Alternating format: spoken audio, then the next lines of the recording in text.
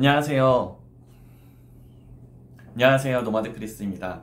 어, 오늘은 여러분들께 블로그 강사를 하면 안 되는 이유 다섯 가지를 말씀을 드리도록 하겠습니다. 제가 오늘 이 영상을 찍는 이유는 어, 블로그 강사 양성도 저는 하고 있었는데요. 블로그 강사를 하시려는 분들이 저에게 문의를 주세요. 저도 블로그 강사를 할 수 있을까요? 했을 때에 제가 안 된다고 말씀을 드리는 유형의 분들이 총 다섯 가지 유형의 분들이 계시더라고요. 그래서 오늘은 그 다섯 가지 유형들을 정리해 봤어요. 있어요. 오늘 이 말씀을 드렸을 때에 내가 여기에 해당이 된다 하시면 블로그 강사를 하시면 안 됩니다. 내가 만약에 여기에 포함이 된다고 하시면은 이 부분은 꼭 고치셔야 블로그 강의를 할 수 있다라는 점을 꼭 기억해 주시고 끝까지 시청해 주시면 감사하겠습니다. 자, 첫 번째 유형인데요. 블로그 강의를 지금 할 것 아니라면은 하지 마세요. 블로그 강사는 지금 하셔야 됩니다. 블로그 강의는 지금이 가장 적기예요. 가장 잘 팔릴 때고요. 아직 그렇게 많이 계시지는 않습니다. 다른 블로그 강사님들이 말이죠. 그래서 여러분들의 문이 아직 열려 있는데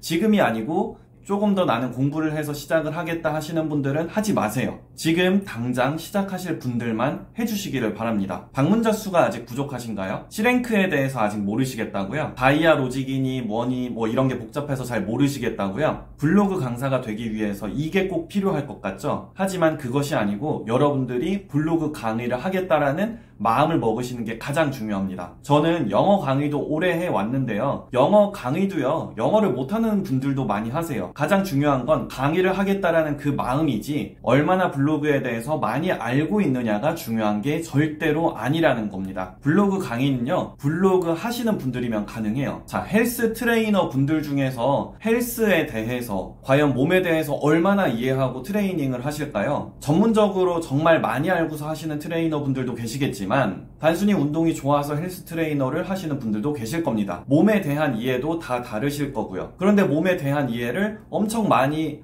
안다고 해서 잘 하시는 것도 아니고요. 그렇다고 또 몸에 대해서 전혀 모른다고 해도 몸을 잘 키워준다면 좋은 트레이너가 될 수 있습니다. 블로그도 마찬가지예요. 블로그 학과가 따로 있는 게 아니잖아요. 블로그를 계속 꾸준히 해오시는 분들이라면 누구나 가능하시기 때문에 꼭 도전해 보셨으면 좋겠어요. 지금 말이죠. 두 번째입니다. 사람에 대한 이해를 하지 않을 거면 하지 마세요. 앞서서 말씀드린 C-Rank logic이나 D.I.A. 플러스 logic이나 상위 노출 노하우 이런 부분이 블로그 강의의 필수 요소는 아닙니다. 여러분들이 마케팅적 요소라든지 branding의 요소를 정확하게 이해를 하신다고 하면 누구나 블로그 강의는 할 수 있어요. 사람에 대한 이해가 전혀 없는데 블로그만 많이 한다고 해서 절대 할 수 있는 분야가 아니에요. 여러분들은 내가 블로그 강의를 한다고 하면 C-Rank나 D.I.A. logic이나 이런 걸 완벽하게 이해하면 할 수 있을 거라고 생각하시겠지만 정작 여러분들이 그것을 전문으로 강의를 만들었다고 하더라도요 들을 사람을 찾으려면 마케팅을 알아야 돼요. 사람의 심리를 잘 꿰뚫고 있어야 여러분들은 내 블로그 강의도 홍보할 수 있을 거고요. 또 그 블로그 강의를 들으신 분들이 효과를 얻게도 만드실 수가 있습니다. 그래서 기술적인 요소를 더 많이 알려고 하는 것보다는 사람에 대한 공부를 더 많이 하시기 주기를 권장해 드릴게요. 그래서 여러분들이 블로그의 기술보다 더 아셔야 되는 부분은 브랜딩, 마케팅, 세일즈 이 세 가지에 대한 부분을 더 많이 공부하려고 하셔야 블로그 강의도 성공적으로 운영하실 수가 있게 됩니다. 자, 세 번째. 돈을 많이 벌고 싶지 않다면 블로그 강의는 하지 마세요. 이게 무슨 말장난인가 싶죠? 블로그에서 정말 많은 강의들이 열리고 있습니다. 지식 창업 강의, 전자책 강의, 글쓰기 강의, 스피치 강의, 여러 가지 것들이 있어요. 자, 근데 이 중에서 가장 많은 수요를 가지고 있는 것은 바로 블로그 강의입니다. 블로그 강의는 아마 한 번쯤 다른 분들의 강의도 들어보셨을 거예요. 자, 왜 그러냐면 블로그 강의는 블로그에 관심 있는 사람이라면 누구나 한 번쯤은 무료 강의라도 듣게 되기 때문입니다. 자, 그렇기 때문에 가장 많은 수요를 가지고 있어서 여러분들은 블로그 강의로 돈을 많이 버실 수 있는데요. 자, 이것을 원하는 게 아니라면 블로그 강의는 하지 마세요. 다른 강의를 하세요. 반대로 이야기하면 블로그 강의가 돈을 가장 많이 법니다. 협찬을 전문으로 하는 강사님도 계시고요.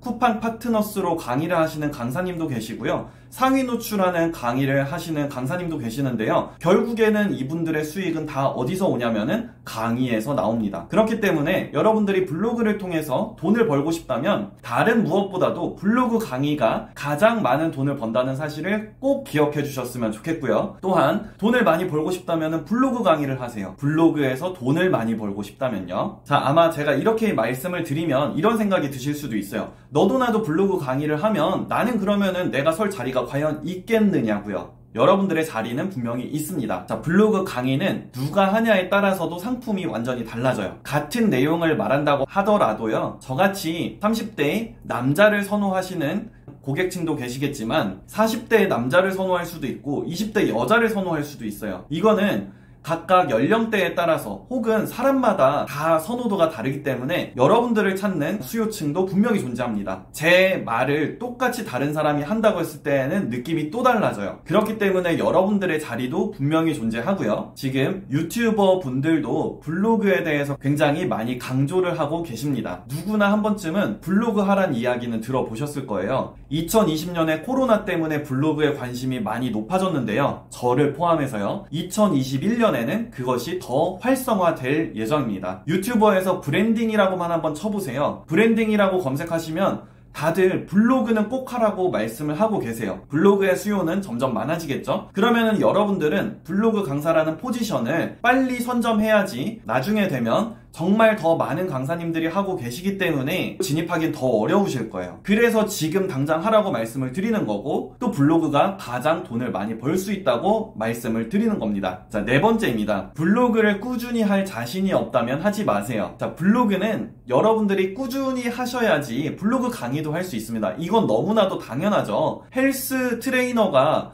한 달에 한 번 가끔 운동을 하는 사람이라면 여러분들은 그 트레이너를 신뢰하고 PT를 신청하실까요? 전혀 아니겠죠. 블로그도 마찬가지입니다. 내 블로그가 활성화되어 있지 않은 상태에서 남을 가르쳐 주기란 더 힘든 거죠. 사람들과 블로그에 관련해서 꾸준한 소통을 할 자신이 없다면 도전하지 마세요. 꾸준히 하실 분들만 하시는 게 좋습니다. 저는 블로그 강사 양성을 하고 있는데요. 이때에도 블로그를 저는 꼭 봐요. 면접 보듯이 블로그를 봅니다. 그런데 정말 이 분이 꾸준히 블로그를 하신 분이 아니라면 저는 그분을 절대로 받지 않아요. 왜냐하면은 중도에 분명히 포기해 버릴 게 분명하고 또 다른 분들을 가르칠 때에도 할 말이 없어요. 활성화가 되어 있지 않기 때문에요. 그렇기 때문에 여러분들이 블로그 강의를 하고 싶다면 꾸준히 하는 습관을 들이시는 게 좋습니다. 마지막으로 다섯 번째입니다. 평생 동안 블로그 강의만 하실 생각이라면 하지 마세요. 블로그 강의 외에도 할 수 있는 일들이 정말 많이 있습니다. 블로그 강의는 시작일 뿐이에요. 여러분들이 내가 어떤 강의를 통해서 수익을 얻어봤다. 이 경험을 얻기 위해서 블로그 강의를 하시는 게 좋고요. 그리고 또 나의 경험을 다른 사람에게 알려주어서 도움을 주겠다라는 생각으로만 해야 합니다. 그렇게 해서 수익을 얻을 생각을 하셔야지 블로그 강의로 평생 직장으로 생각을 하시게 되면 매너리즘에 빠지게 돼요. 블로그 강의 외에도 다른 일들로 확장을 해주셨으면 좋겠습니다. 저 같은 경우에도 블로그 강의를 했으면 그 다음에는 블로그 강사 양성을 하고요. 또 전자책으로 블로그를 어떻게 할 수 있는지에 대해서도 말씀을 드리고 있고요. 또 이 블로그 강의라는 콘텐츠를 어떻게 해서 만들게 되었는지를 전자책으로 쓰고 VOD 강의로도 만들었습니다. 확장되는 그런 노하우들을 모아서 또 다른 강의나 전자책으로 만드실 생각을 해주셔야 돼요. 그렇게 하다 보면 블로그 강의보다도 다른 콘텐츠 강의라든지 전자책 강의도 하실 수가 있겠죠. 영역을 확장시켜 나가시는 것을 권장해 드립니다. 그렇게 되면 언젠가는 또 종이책을 쓰게 되실 거고요. 종이책을 쓰게 되면은 출판사를 통해서 강연 의뢰도 들어올 거예요. 그러면은 또 강의에 대해서도 강의를 또 하실 수도 있겠죠. 중화상 강의를 어떻게 진행하는지도 강의하실 수도 있고요. 또 어떻게 하면 내 강의 홍보를 잘할 수 있을지도 강의로 또 만드실 수도 있고 전자책으로도 만드실 수 있습니다. 그렇게 계속해서 확장을 시켜 나가시기를 바랍니다. 평생 동안 블로그 강의만 하실 거면 절대 하지 말아주세요. 무엇보다 중요한 건 블로그 강사가 되었을 때는 강사라는 타이틀을 더 중요하게 생각해 주셔야 됩니다. 블로그를 파기보다도 강사로서 강의를 어떻게 하면 더 좋게 만들 수수 있을지를 생각을 해주세요. 다른 수강생 분들과도 계속 소통을 하고 또 따뜻한 마음을 가지고 선한 영향력을 끼칠 생각을 해주시면 좋은 강사가 될 수 있습니다. 자, 그러한 기본적인 생각이 없이 수익이 좋으니까 하는 것만으로는 여러분들이 좋은 강사가 되기는 어려우실 거예요. 그래서 수익보다는 다른 사람에게 좋은 영향력을 끼치는